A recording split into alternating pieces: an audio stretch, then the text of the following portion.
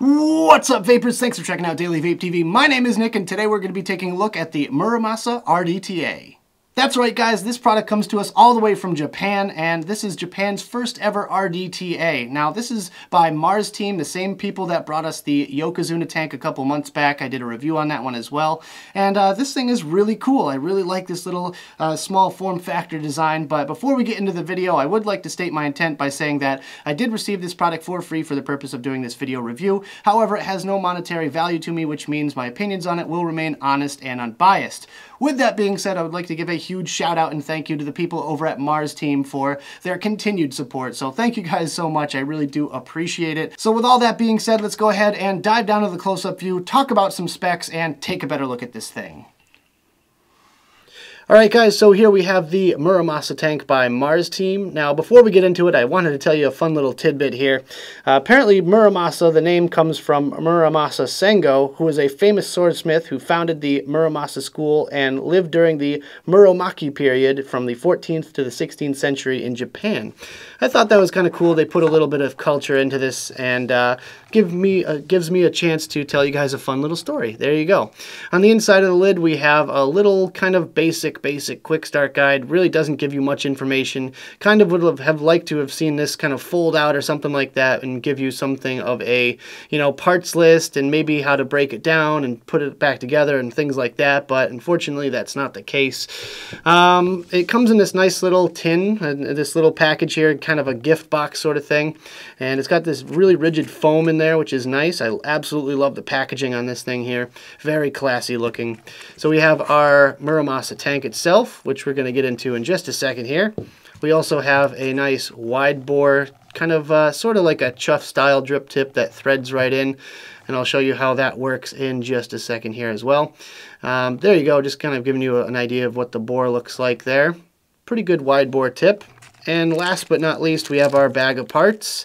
Unfortunately, they don't give you any extra screw heads. I thought they would give you at least a set of screws in there.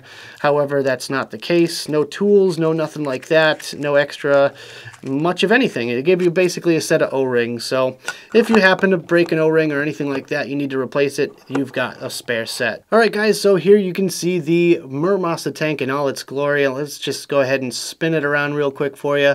I like the little kind of V design on the side there. It kind of reminds me of a Vicious Ant product. And there you go. You have your logos, Muramasa on this side and Mars Team on this side. I just feel like those are a little bit out of place. I don't know. I kind of would have liked to have seen those maybe above the airflow or something out of the way, maybe engraved in there or something like that. But yeah, it's just kind of printed on the tank and makes it look a little bit more cheesy. Uh, otherwise, the tank section as well as the airflow section and the drip tip are all made out of, uh, I believe it's acrylic. It didn't really come with any fax sheets or anything like that, so I'm kind of uncertain on a few of these things here. But you can see the bore of the drip tip as well as the single O-ring on this side here. Uh, not the tightest drip tip I've ever seen. I would definitely avoid picking your mod up by the drip tip itself because I feel like you're going to drop it. But um, yeah, would have liked to have seen that a little bit tighter uh, or maybe a dual O-ring on there would definitely do the trick. Um, there's the airflow section there. Uh, you can adjust it and it's matched on the other side. However, there is no single coil airflow option, so it's dual coil only for this thing here. Uh, let's just go ahead and take off the top cap real quick. Um, now this is where it gets kind of interesting because this is the only way you can actually use this wide bore tip. Now this thing threads right into here just like that and that's the only configuration where you can use the wide bore tip. You cannot use it with the airflow control section, which is a little bit unfortunate because maybe someone out there would like to be able to control their airflow and use a wide bore tip. Um, personally, I think the airflow is just fine the way it is, but hey, that's just me. Um, it's a little bit tightly threaded on there. I mean, yeah, the threads are pretty thin, and I just kind of uh, worry about it sometimes, but um, maybe you guys are a little bit more careful than myself. Um, there you go. You can see the inside of that chimney there. Just kind of a slight chamfer at the top, which is kind of nice. Kind of shoots the airflow straight up. And there we have the gold-plated deck. Now, this gold plating seems a lot nicer and a lot classier than some of the other Chinese gold plating that I've seen in the past, such as the Azeroth. This just feels like it's a little bit higher quality. The screws are also gold-plated there. You can see those. And the uh, post holes are probably about 3 millimeters. They're, they're pretty massive uh, post holes.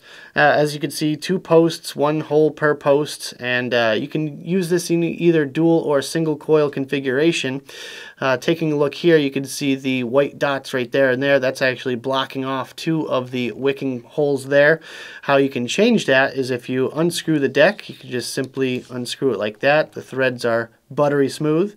Um, this piece actually slides out. I believe this is made out of either Delrin or acrylic. Not quite sure on that. Uh, it was not specified in any of the uh, information that I received. And then you can just reinstall that like so.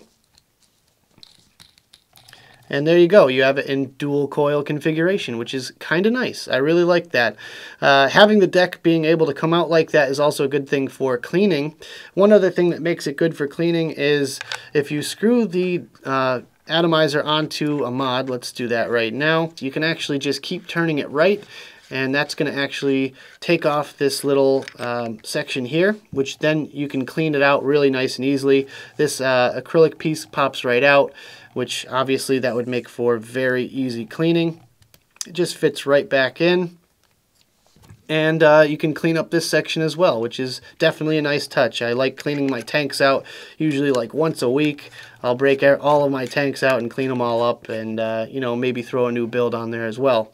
Uh, but that just is uh, reverse threaded, so you screw that on left uh, counterclockwise, and there you go. It's all set. You can clean it up real nice. So another really cool thing about this device is how you fill it. Now, there's a gap about one or two millimeters all the way around the build deck here, which is really nice because you can just stick your dripper right down on the side, give it a squeeze, and you're going to be able to fill this thing no problem.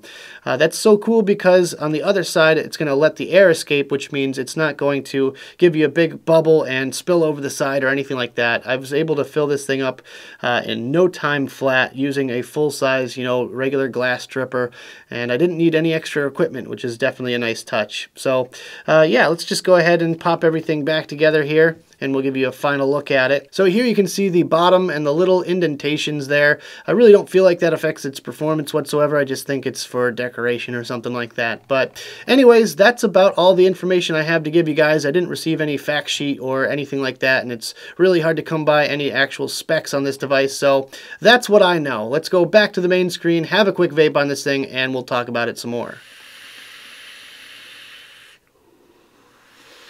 Alright guys, I hope you enjoyed the close-up section of this video. Now let's talk about some of my personal thoughts on this device, some pros, some cons, and whether or not I believe it's worth purchasing. Starting it off today with some pros, and my first pro is that it has a nice high-end styling. I really like the looks of this thing. It's absolutely gorgeous. I kind of like the kind of goldish, yellowish kind of accents on it. Just kind of sets it apart from any other sub-tank that's out there right now. And, you know, even all the way down to like the subtle little engravings on it and stuff like that, I really like it. It looks classy it looks like it deserves to be on a high-end box mod. I talked about that in my vlog, uh, this past vlog that I did, and I really like it. So there you go. That's my first pro. My next pro is that the airflow is smooth and quiet. As you probably heard, when I'm puffing on this thing, it's nice and quiet. Now, I'm just going to go ahead and take one more rip off of this thing, and I'll show you what I mean.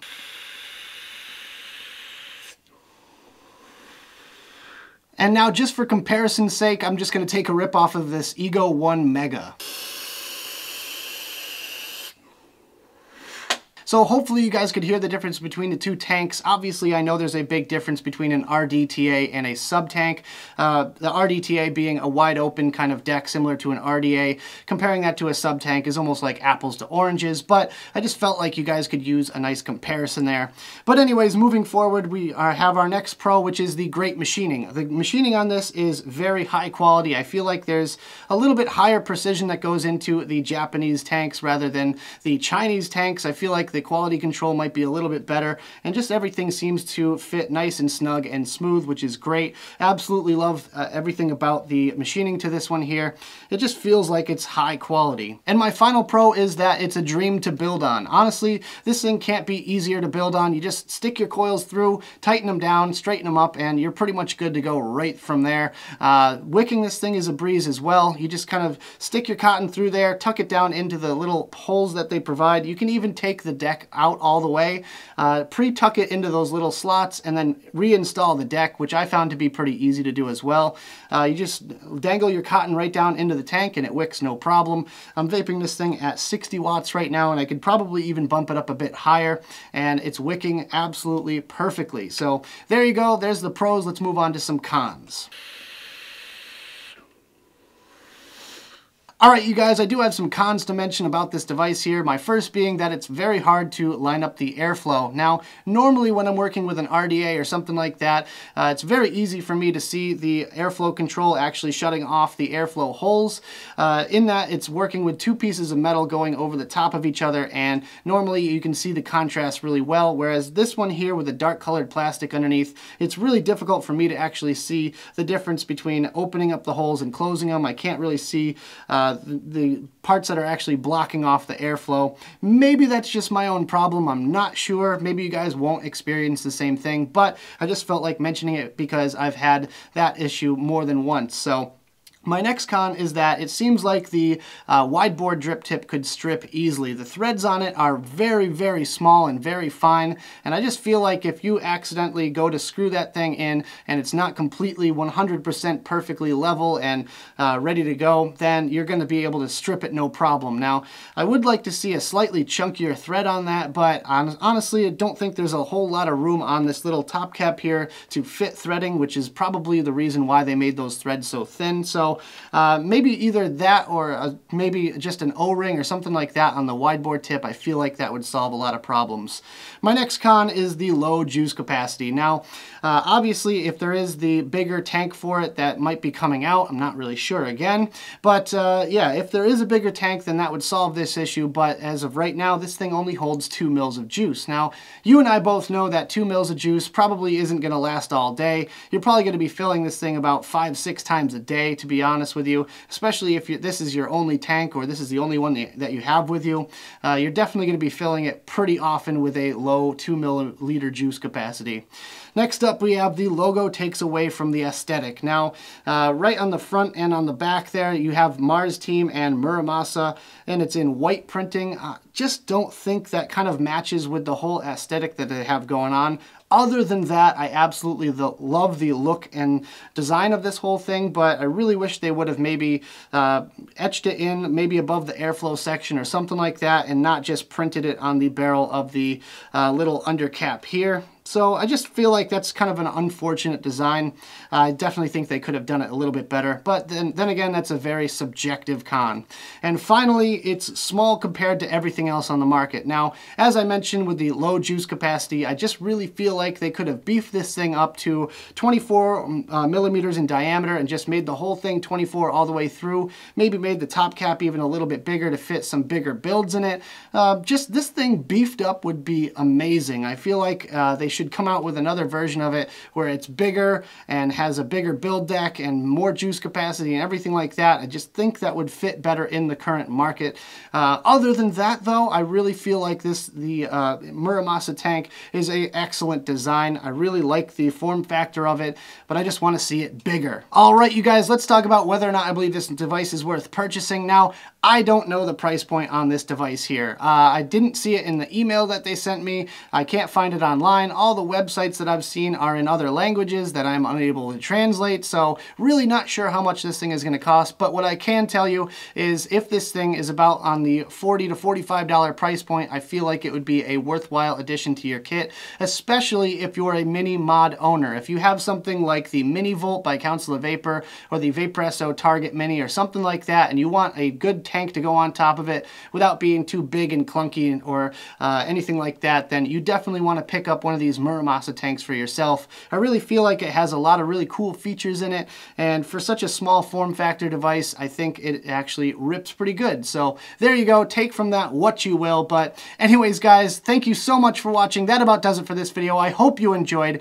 If you did, make sure you hit that like button and subscribe for more videos just like this. Of course, leave me comments in the box below of what you think of the uh, Muramasa tank, whether or not you want to purchase one for yourself or anything else you guys want to talk about down there. I'd love to discuss it with you. Of course, check out the advocacy links I have in the description. Make sure you fight for your right to vape. You don't have to do everything, but you do have to do something. And also check me out on my different social medias. I have Twitter and Instagram. Make sure you follow me on there. Like my page on Facebook. Check out my Snapchat. And if you want to give me a couple of bucks on Patreon, that would be awesome as well. Thank you guys so much for watching. You guys are the best. And as always, vape on!